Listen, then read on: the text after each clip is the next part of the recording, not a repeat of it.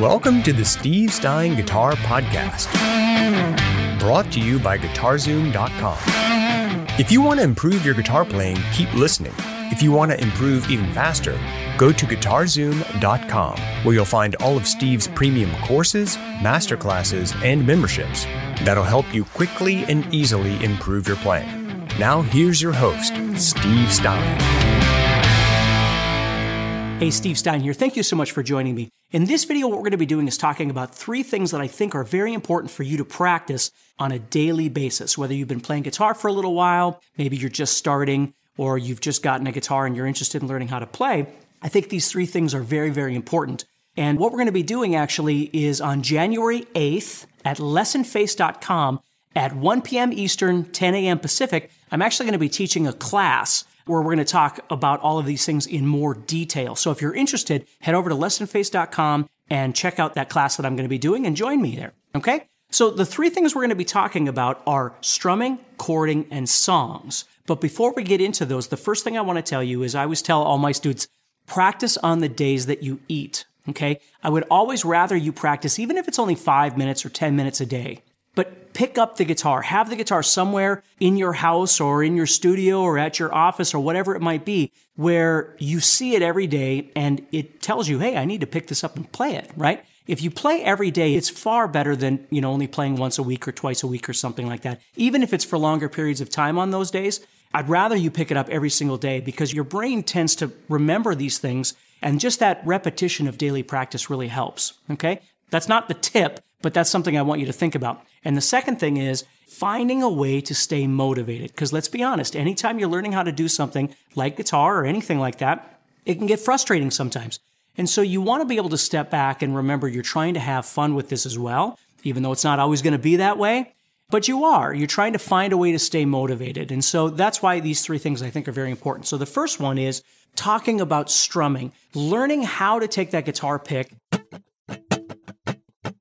and make up things on the guitar that sound musical, that sound real. Not just necessarily a strumming pattern per se, where we do like down, down, down, up, down, or something like that, but really learning that when we add things like dynamics, like strumming hard and strumming soft, and putting those together, strumming a little, strumming a little bit more, different things like that, it can really bring out the musicality of what we're trying to do. So if I take my second tip is is practicing chords on a daily basis. I hope you're enjoying this episode so far and you're getting motivated to take your guitar playing to the next level. Please do me a favor and leave us a rating on Apple Podcasts. It'll help the show grow and reach more rock stars like you who want to improve their guitar playing. Also, I'd love to know what parts of the episode you liked, as well as what you learned. So please share this podcast and tag us at guitarzoom.com on your social post. And now, let's get back to the podcast.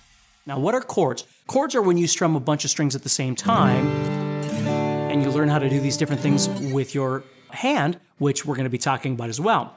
But not just learning chords, but learning the right chords and then learning different key ways of being able to move between them efficiently, quickly, cleanly.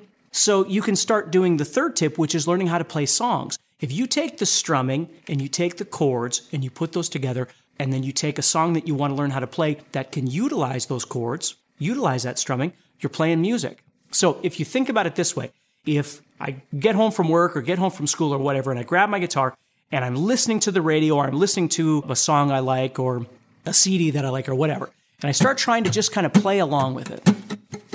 You know, I pick a song I like and I just start doing this. Now, what I want you to notice is as I'm doing that, I'm being very consistent with the way I'm moving my hand. I'm not going, you know, something like that. I keep this very constant. And again, that's something we're going to talk about in the class. So then what I do is I come over here and I start working with my chording or my fretting hand. This is called a fretboard. So I'm going to press down on things. And what I want to practice over here is making these chords over and over and over, training my hand, training my brain to think about these chords and identify which chords go with which. For instance, a G chord, which you may or may not know, a C chord, and a D chord are very important to learn connected to each other because we use those a lot to be able to play songs. So if I can learn shortcuts to be able to play this G and this C and this D quickly and cleanly, and I can learn to take that and add this strumming to it.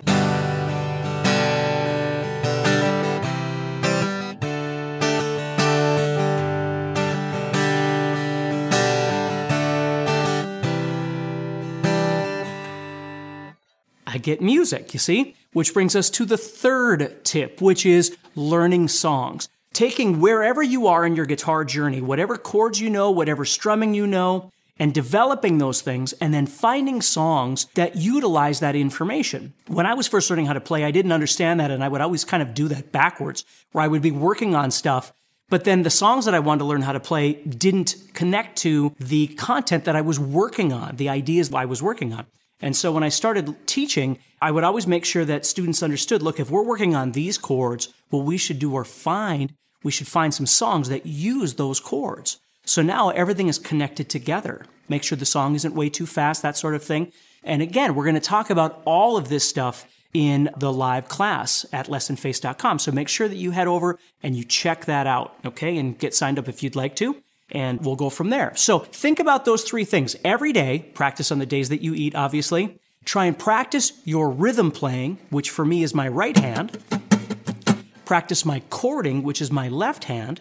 And then I'm going to find some songs that utilize those things that I'm working on, whether I'm playing G and C and D, or maybe you're learning A and D and E, whatever it might be. And I want to find some songs that use those so I can pull all of this stuff together. All right. So take care, stay positive, and I hope to see you on January 8th. Okay. So make sure you check out over at lessonface.com.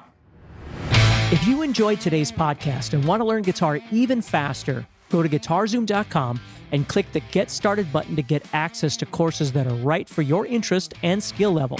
Again, go to guitarzoom.com and click the Get Started button.